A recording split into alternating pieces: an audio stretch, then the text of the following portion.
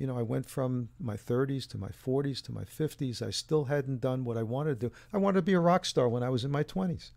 I mean, that's what, you know, all my contemporaries, all the music that I listened to, from the Beatles to the Stones, the British invasion bands. I mean, this was my era and I, I loved them. And then I listened to a whole bunch of jazz artists and that's what I wanted to do. But I was never able to just make the leap. And finally, when I entered my 60s, I mean, at a time when basically everybody I know is slowing down and retiring, I said to myself, uh, if I don't do this now, when the heck am I ever going to do it?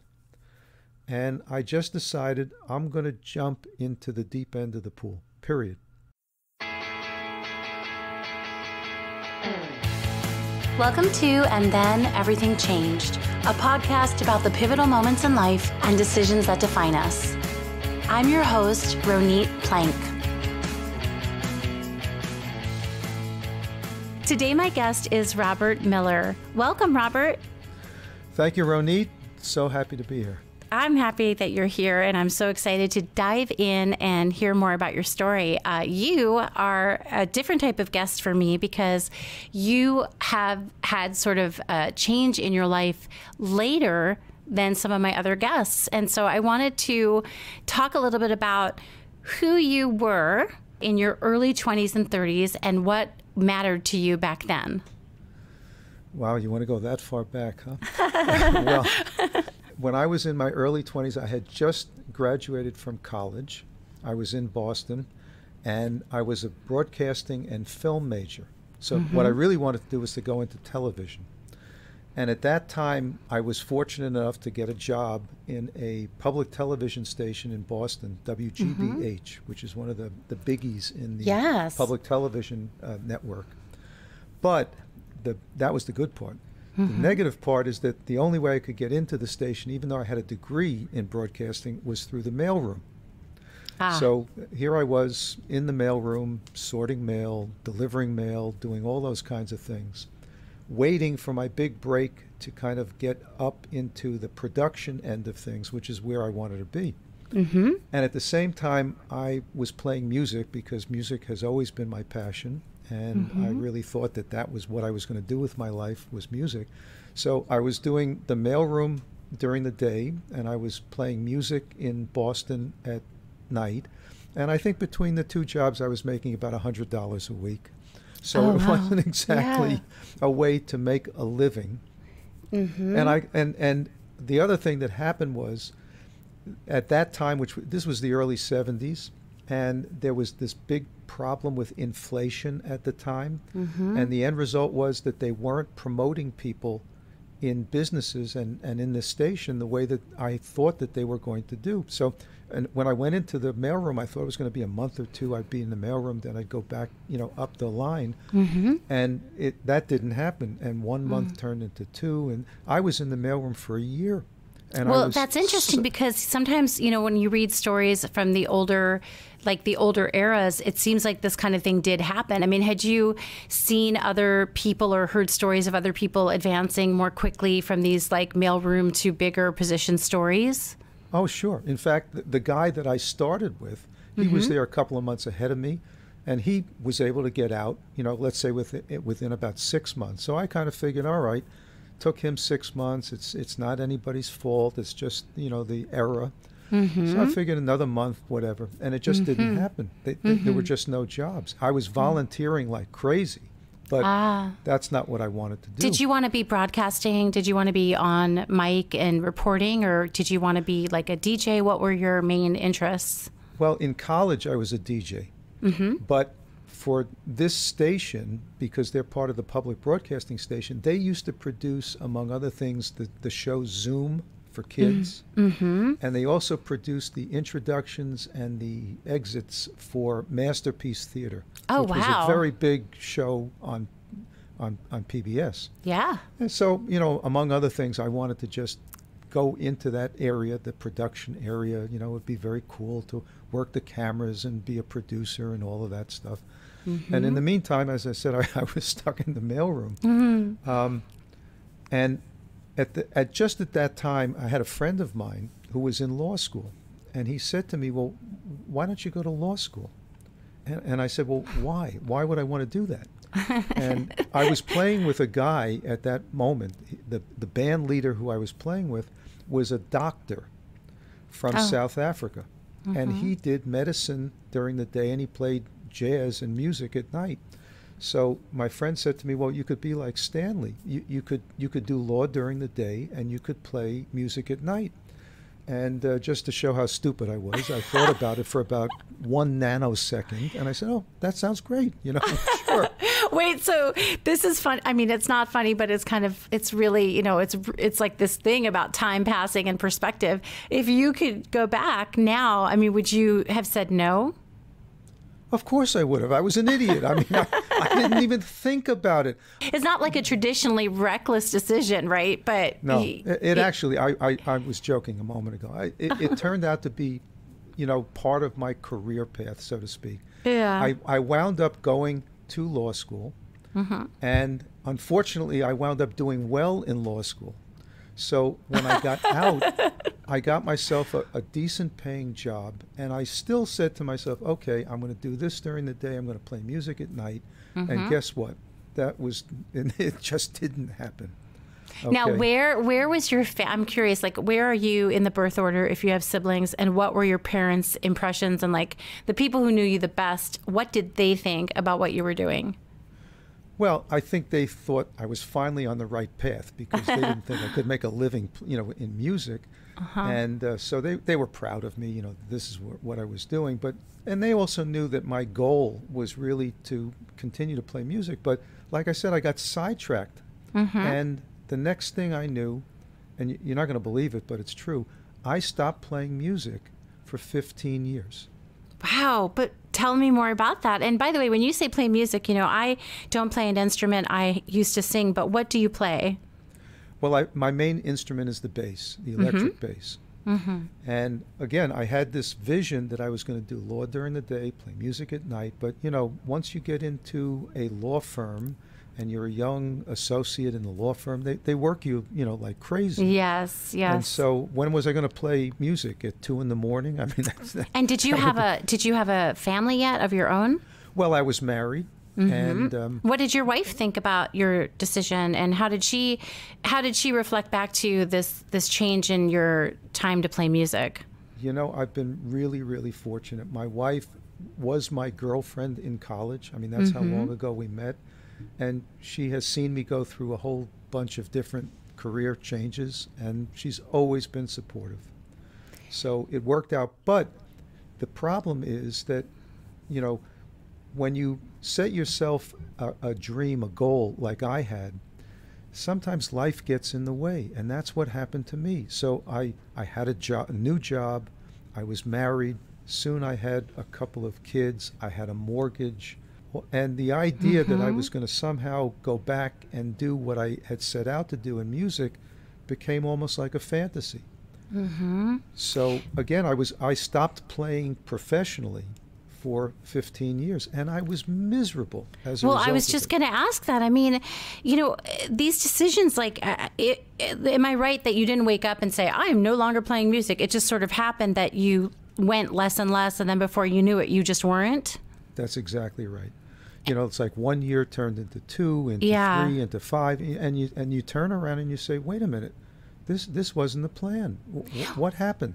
So Now, I I'm curious, like I, I want to, you know, I, I'm gonna, I want to roll around in this moment just a little bit more because I, I know you're like, You want me to wallow in this? Yeah. Is that what you're saying?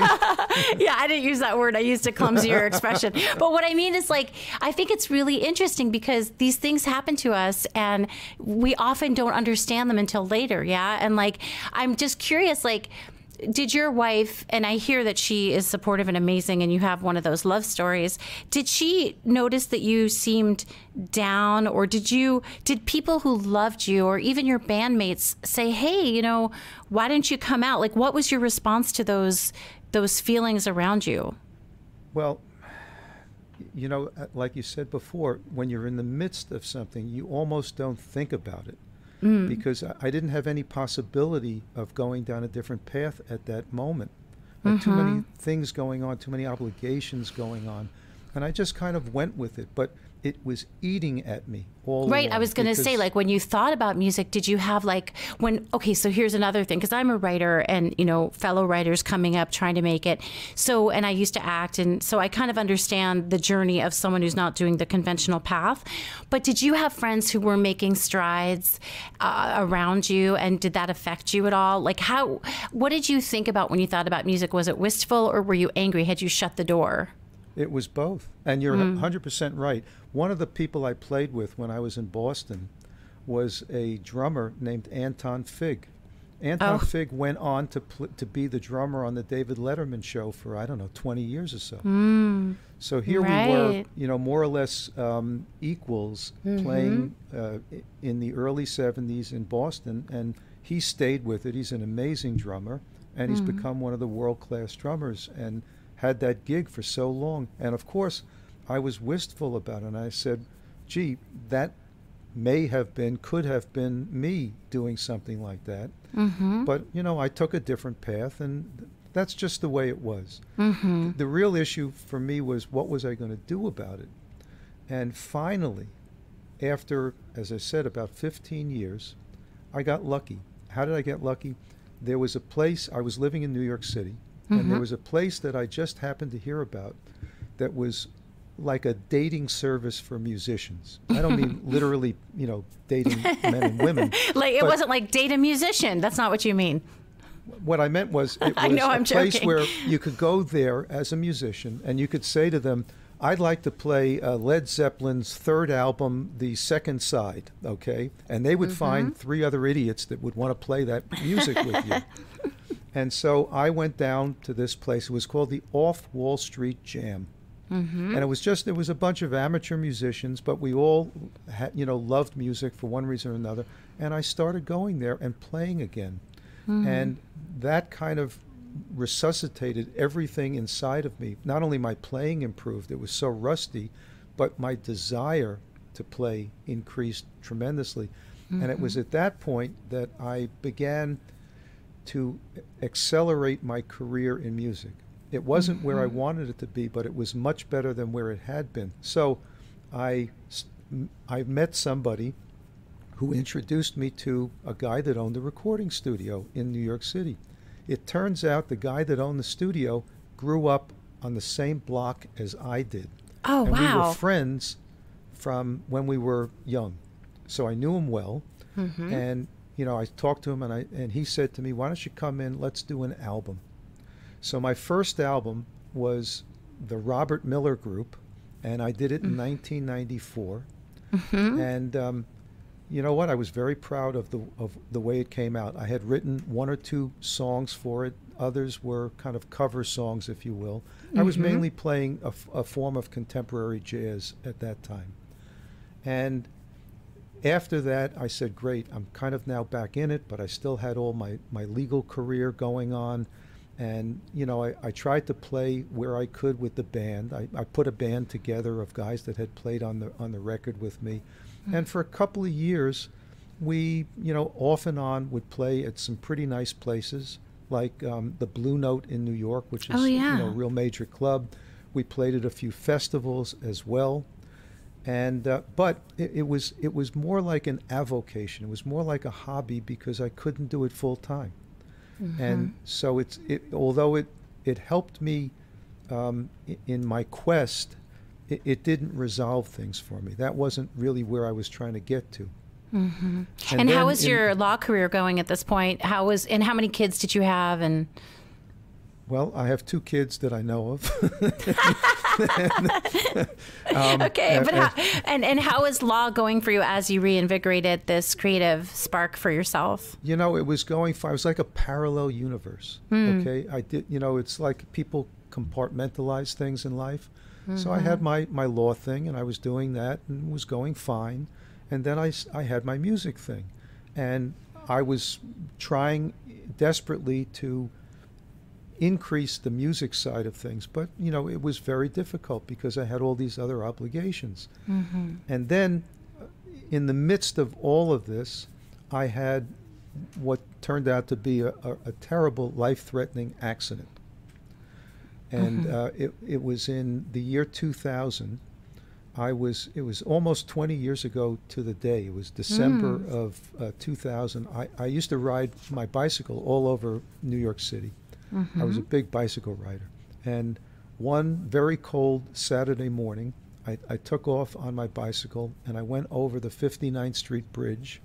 And if your uh, listeners know about that, it goes from Manhattan into Queens. Mm-hmm. And long story short, but as I came off the bridge, a car came up from behind me and smashed into my bicycle, and I, my bike and I went flying backwards over the, the van, Oh. landing on the street, and I didn't know I was knocked out. I didn't know mm. anything. I woke up with these two EMS guys hovering over me, and I mm. heard one saying to the other, "Boy, is this guy lucky. We usually find people like him dead or paralyzed." Wow. And I was neither at that moment. Mm. And so they ambulanced me to a trauma center and blah, blah, blah. The long story short was that I had broken my arm and my neck. and obviously the neck was more significant. Mm-hmm. And what made it so incredible was that my, and I had eight hours of surgery a couple of days later to repair everything. Wow. And the the lucky, the phenomenally lucky part of this is that it was as if, as my doctor said, it was as if as if my neck exploded, but none of the bone fragments touched my spinal cord. Somehow. Wow. And that so was they the basically got between, shattered, like completely blown apart, but none of them hurt the cord. Right. Mm-hmm. Nothing went into the cord. It was, you know, otherwise I would have been paralyzed like a, a Christopher Reeve or something. Yeah. So it was just, it was so phenomenally lucky. And Mm-hmm. it was a sign to me that, okay, I'm, I'm here for a reason still. And it was the first of two uh, kicks in the rear, so to speak, that put me onto the path that I'm currently on. That the yeah. How long was your recovery? And you know, did you ever get on a bike again? Yeah, I did.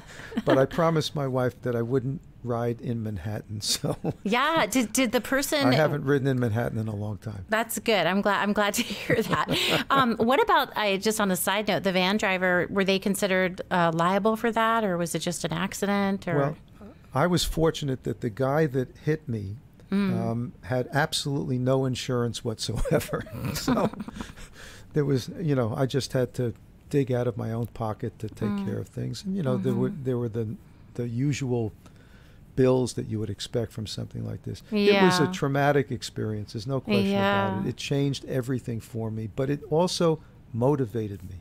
I was given a new lease on life. do you st- do you have pain at all in your neck or your arm these days? Wow, that's great. So, what was your second kick in the butt? The second one, you mean? Yeah.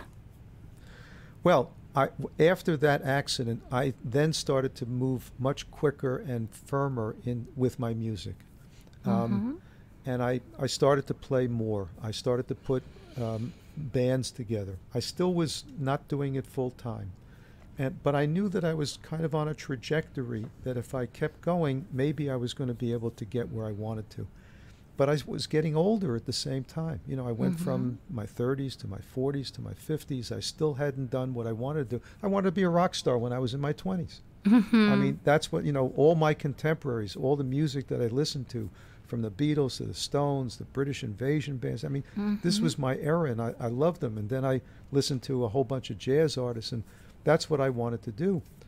Um, but I, I, I, w- I was never able to just make the leap. And finally, when I entered my 60s, I mean, at a time when basically everybody I know is slowing down and retiring, I said to myself, uh, if I don't do this now, when the heck am I ever going to do it? Mm-hmm. And I just decided I'm going to jump into the deep end of the pool, period. and that was five years ago, about. And in five years, I mean, I've been so phenomenally fortunate as to where this has gone. I, I've got nine albums, including a Billboard number one. Wow. I've got over 4 million video views, over a million Spotify streams, over 50,000 Facebook fans. I've played festivals and concerts around the world, and I've even opened for artists like um, Blues Traveler and Wow. Winter and uh, Boney James. It, it's been quite a ride. And it's all because I had this dream and I finally took the steps necessary to execute on this dream. Mm. And so I've become a big, big proponent of people kind of getting in touch with themselves and their dreams. We all have dreams. Mm-hmm. In fact, I think we all start off, particularly when we're teenagers, and we probably have big dreams then. You know, mm-hmm. you want to be mm-hmm. a nuclear s- scientist, you want to be a baseball player, you want to be a musician. I mean, there's mm-hmm. very few kids that are teenagers that say, My dream is to become an accountant, right? So you, don't get nasty. there might be someone who does, but yeah. I'm not knocking accounts. I'm just saying it's probably not going to be their dream when they're 13 yes, years old. of course. Okay? I actually talked to someone yesterday who said to me, she said, um, you know, you've always known what you wanted to be and do if you think back like you knew it since you were young like really right. young and I, right. that, and it's interesting to me that you're saying something very similar today hundred percent. I think yeah. everybody in their gut knows that they have or had a dream, and yeah. usually, like me, dreams get, you know, they, they get waylaid. They get put aside, uh, and and that's very natural. It's because you know so many other things happen in life. That some mm-hmm. you can mm-hmm. predict and some you can't predict. the The issue is, are are you really satisfied and happy with what you're doing? If you are, great okay? Mm-hmm. But so many people are not. Mm-hmm. So many people are dissatisfied or unhappy, or they're just kind of, you know, going through the motions every day. And I believe that if you were to follow your dream, and, and I'm proof positive, you can do it at any age and at any time, okay? Mm-hmm. And look what I did. I went into a field, namely music, that is completely a young person's game. Okay. Mm-hmm, mm-hmm. And if I was able to succeed at that, just, you know, most people I think can succeed at what they want to do. And dreams, remember, come in all different shapes and sizes. Uh, it can be, I want to learn a new skill, I want to learn a new hobby. I want to open up a new business. I always wanted to do X, Y, or Z. I wanted to fly and travel around the world. You know, there's all different kinds of dreams. Uh, mine yeah. happened to be music. So um, and I really believe at, at, no point in your life, certainly not when you're older, do you ever want to look back and say, gee, I really wish I had taken the shot. Mm-hmm. I wish I had tried. Yes, I, I, totally see that. And I, I wonder, you know, do you think that in a parallel universe, had you not gotten into the accident, you would not have found music again? It's very possible.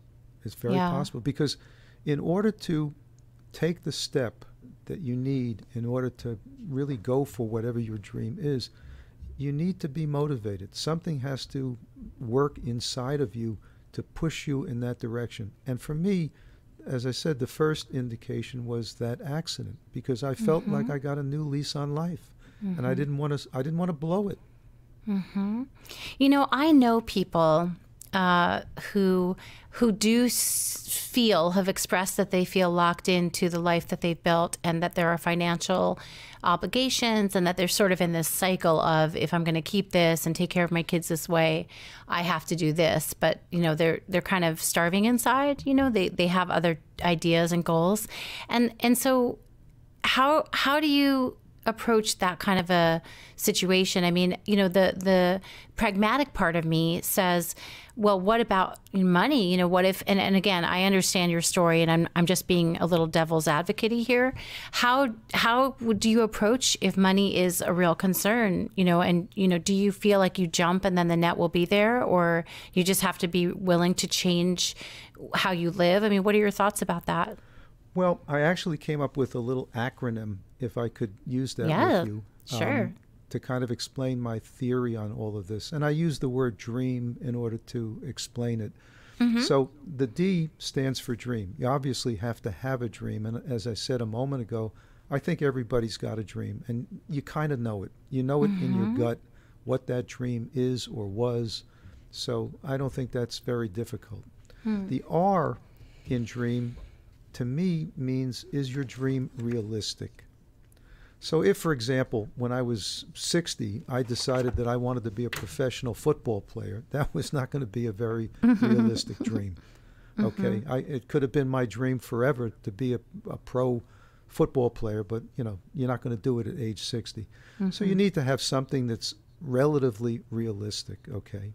Mm-hmm. E in dream is to me the most important one. It's execute. How do I execute on the dream? Okay, I've got a dream. I, I really want to take a shot. What do I do? And I think it comes down to having an action plan, which is mm-hmm. really, I think, what you need for almost anything in life. You want to do something, you want to go somewhere, you want to, you know, achieve something, have a little plan. What's the plan? Well, it's usually baby steps. Mm-hmm. How do I take that first step? What is it that I need to do? What's my second step? What what are the things that I need to do in order to achieve the goal that I want? So that that's that to me is a very important part of the whole thing. The mm-hmm. A in dream for me is adjust. Meaning there's no dream, there's no path that is a straight path. I mean certainly for me it was one step forward, two steps back, three steps mm-hmm. sideways. That's the way life goes. And you have to be mm-hmm. willing to deal with that. You know, I, I love this little quote from, if you remember Mike Tyson, the heavyweight champion. And they asked him once when he was going into a fight, did he have a plan going into the fight? He said, Yeah, everybody's got a plan until you get hit in the face. I haven't heard that before. I like it.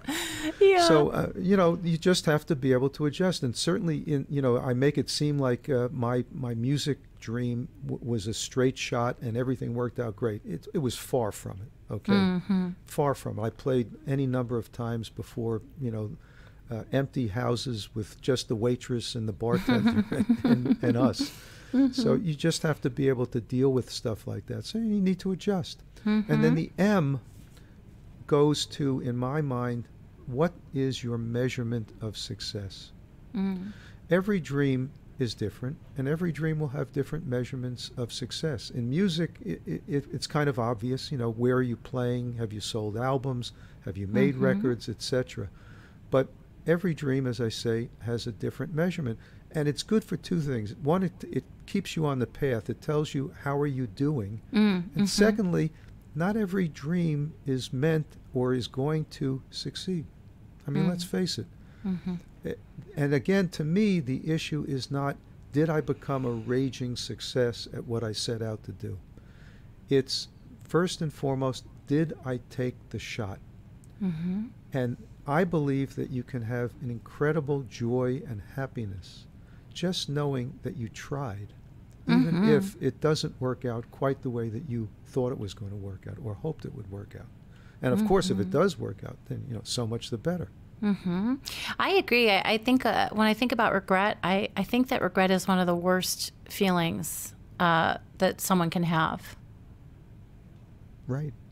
Yeah. Why would you want to look back? We only have one life. We're only going around once.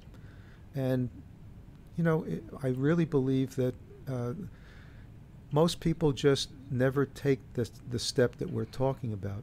In fact, if you go back, what is it, a couple of hundred years, you remember uh, Henry David Thoreau, the philosopher? He had this great quote that I love. He said, The great mass of men lead lives of quiet desperation. hmm And if you think about it, it's true. It's true then. It was true then. It's true today. Most people are not terribly happy with their lives. You know, and it could be for any number of reasons. They're overweight. They're you know they're they have illness or whatever, or they just didn't do what they thought they were going to do. They just didn't try what they hoped that they were going to be able to try. So this is one way that I think you can you can make up for that. So I'm a big believer in in dreams. Yeah. Do you uh, do you talk to your children? I mean, I know they're grown now, but do you does this figure in your conversations with close people close to you about you know if they come to you and they say they're not doing so great or they're they're just you know maybe dragging a little bit? Do you kind of employ some of this? Not not like as an evangelist, but just like a check in. Like, what would make you happy? You know, are you doing what you want to do? Yes, I, I try to do that, and I do it even more now. I, I am probably starting a podcast myself Ah. um, in the near future because, and I think I'm going to call it "Follow Your Dream" yeah. because I do think that this idea of kind of uh, dream therapy, I, maybe therapy is the wrong word, but you know, a dream status, a, a dream path, Mm-hmm. is so important, and particularly, you know, look, we're in a terrible time in the world. Mm. This pandemic is still raging. Um, we we just finished, uh, you know, an, an administration that so many people were happy is over Mhm, with. mhm. There's a lot of negativity out there, and I believe that again, the idea of following your dream is a way that we can inject, you know, happiness and joy back into our lives, and isn't that what Mhm. it's all about? Yes, and also to an extent, that is something that we can control. I mean, we can't always control, like you said, you're not going to get everything you want, but you know, we can control what we set our sights on, and we can control on the work we need to do to get to those steps. We can't, you know, we can't promise that we're going to book every gig or get everything published that we want, but we can control how we dream and where we focus. And I think that alone is so empowering. Yes, taking control of your life. Mm-hmm. A lot of us, we just slide through life. And Mhm. it's, again, it's a very natural kind of human situation. Most Mhm. people don't even think about this stuff. They, they get up day to day, they're, they're doing their routine, they're going about it. You know, do they even think about, well, am I happy? Is this Mhm. really what I want to do? I think some people do, and, and they're probably the ones that see psychologists and psychiatrists. Mm. Um, but a lot of us just, you know, we just kind of go through life, and then again, you wake up, or you come to a realization maybe a year later, ten years later, thirty years later. You know, remember that song? Is that all there is? I think it Yes, yes. Peggy Peggy Lee's song. Yeah. Okay. And as you get older, th- those types of thoughts come into your head more because Mhm. you know you, you, you you're looking back um, and and you're seeing how did it go? Is this what I wanted to do? Is this where I wanted to be? Mm-hmm. These are natural instincts, I believe. Yeah, yeah. Well, so what are you most excited about project wise right now? I are you laughing at me? uh, I, I put an album together over the summer, mm-hmm. which was very, very different for, for me and for my band. My band, by Mhm. the way, is called Project Grand Slam. Mhm. And I, I put that band together a number of years ago. And I reformed the band uh, about five years ago when I really went into this thing full time and Mhm. jumped in the deep end of the pool. I surrounded myself with a group of young, extremely talented, mainly foreign born musicians. And I was able to extract th- their youth and vitality and vibrancy as part of my music. So it's been a wonderful experience for me to do that. Mm-hmm. And um, as I said, we did we've done nine albums in total. Wow. Th- But all these albums, I usually would, rec- would record by rehearsing um, very, very uh, detailed uh, in advance. Then we'd go into the studio. We'd record the entire album in usually a day. Mm. Okay, we, we would do Mhm. maybe two, three takes of each song. Then we'd do some some uh, fix-ups afterwards. But that's kind of the old school way of, of making a record, an album. Mm. But over the summer, you couldn't do that. yeah. Okay. During the pandemic, that was out. We couldn't rehearse together. We couldn't record together. So what did I do? Two things. Number one, I said we had we had fortunately had just finished recording an album about a week or two before the the world shut down. Mm. It's called East Side Sessions. Mhm. And I took four of the songs on that album and I said, let's make some videos. So we did two videos that I call um, Zoom videos, you know, where you've got each person, you know, in a little box, you know, on the screen, and we're all lip syncing and lip playing to the music, and it, it came out great. But then we Mhm. got more creative. The, the third one we did, it was an animated video. And the fourth one was kind of a spaghetti western kind of video. and in total, they, they all went over great. They probably had about a million views for, for all four of them. So I was very proud of that. Wow. And, and- and then I said, you know, I, I like I write music. That's what I do. And I was writing all this music, and I said, I'm going to start recording it, but I had no home studio to record it in. So I Mhm. called up my engineer and, and I said, well, what should I do? I, I can't come into your, your studio. It's, it's just not safe at this time. And I started to record the new album literally on my iPhone. Okay? Mhm. How crazy is that? Yeah. Um, I'm waiting for Apple to call me. They should you put me in a commercial or something. But I, I recorded on my iPhone. I sent the, I emailed the stuff to my engineer. He kind of brought it up to uh, standards. And then I would send out emails to my different bandmates, and you know, let's say the guitar player, okay, would you fly in a guitar part for this? Mm-hmm. The keyboard players would do that, and so we put together the album on a track by track kind of basis. And the other thing that happened with the album, which is called Summer of Love 2020, and I'll tell mm-hmm. you why in a mm-hmm. second. I always have had a female lead singer in the band, and it's one of the hallmarks of Project Grand Slam. And I've had some great, great singers. But as we were recording this album, I said, you know, these songs are so personal. They're all about the pandemic. They're all about my feeling that love is what's going to get us through this pandemic. Mm-hmm. And I said, I think I got to sing these songs myself. So I stepped up mm-hmm. and I took the shot. This is another, you know, this was always a dream of mine to be the front person, if you will, singing mm-hmm. these things. And I recorded the album and put it out for you know the pre-release reviews, and I'm I was so happy because the reviews came back just spectacular. Oh I wow! Mean, they called it magnificent and five stars and this, that, and the other thing. So that album, Summer of Love 2020, is going to be released at the end of January, mm-hmm. um, January 29th. Um, like I said, the reviews have been spectacular and uh, I would love to have people, you know, take a listen to it. The easiest way is to go to our store. It's called thepgsstore.com. Mm-hmm. And I mm-hmm. have a special gift for the people in your audience. Oh. And that is if they go to the store, I've got a copy of the album East Side Sessions that I will give to everyone for free. All they wow. need to do is uh, click on that album and at the uh, when they go to pay, just enter the code DREAM D R E A M, and they get the album for free. It's a, a nice way to wow. introduce them to our our music and to do something nice for your for your audience. Thank you so much, Robert. My that's, pleasure. And yeah, of course, awesome. they can listen to other things like Summer of Love, and you know, mm-hmm. as usual, you have a lot of stuff on the store. But I'm more interested in just kind of spreading spreading the love, shall we say? Mm-hmm. That's really great. Thank you so much. I love I love that. That's really very excellent. I'm glad I can offer that, and that you're doing that. Is is that also the best place to find you if people want to connect with you or follow what's going on?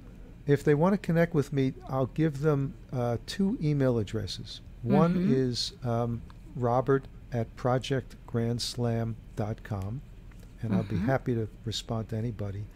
And then, like I said, I'm, I'm planning this podcast. So oh, yeah. they can also write to me at followyourdreamtosuccess your dream to success at gmail.com. Oh, that's great. Okay, good. And are you on any social media at all? I'm on every social media known to man. uh-huh. And it, would it be under Project Grand Slam or Robert Miller? Yes, it's all under Project Grand Slam. We have a, we're very active on Facebook. Okay, great. Facebook and at the Project Grand Slam. Oh, we're oh, good. Active on Instagram, active on YouTube. So when this comes out, I'm going to send this all around the world for you. Great. Great. Well, this has been a just a great conversation and such a good way to start the new year. Um, thank you so much for sharing your story with me and for taking some time today to talk about how you found your dreams. Thank you. I, I really appreciate being on the show, Ronit, and uh, you've got a terrific show here, and I hope the audience continues to grow. Oh, thank you so much. Thank you. Thank you for listening to And Then Everything Changed. For more on this episode, photos, and other episodes you might like, please visit atecpodcast.com. You can connect with me and learn more about episodes on Facebook, Twitter, and Instagram also. Just search for my name, Ronit Plank, R O N I T P L A N K, and you will find all the updates. If you like this podcast, please remember to subscribe and also rate and review so other people can find it. Thank you so much for listening.